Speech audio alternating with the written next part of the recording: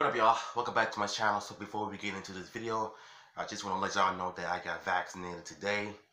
And so far so good. I'm not feeling any effects. Praise God for that. So let's get that out of the way.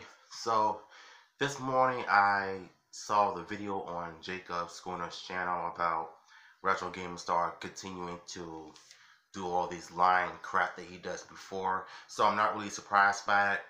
So according to VGL 58. We're gonna do a video on him, so check it out. Oh, he did? He did, didn't he? Oh yeah, this guy's a yeah. I, I agree. He's a real freaking troll, man. And he's doing it for views and attention.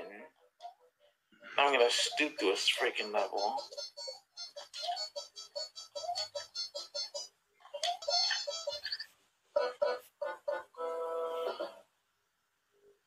Yeah, he's a troll.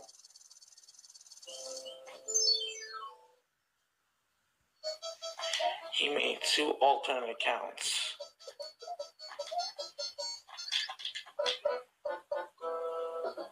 First of all, his gameplay is it's not good. And second of all, I thought the retro was gonna, you know, ignore the trolls like he's supposed to, but instead he just keeps on. I'm gonna make sure I um probably you know I'm not. I'm gonna make sure I report. You know.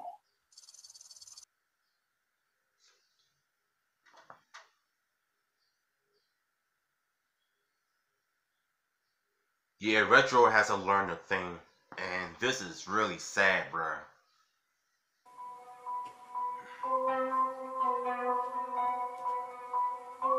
Bang bang! Bang I'm flagging. Whoop! I'm snitching. I'm flagging. I'm flagging. I'm snitching. I'm flagging. it's funny because I'm laughing I'm because flagging. I'm snitching. I'm it's just coming back to me now. I forgot I'm about this meme. I'm snitching. I'm flagging. I'm snitching. I'm flagging. I'm clicking. I'm clicking. I'm snitching.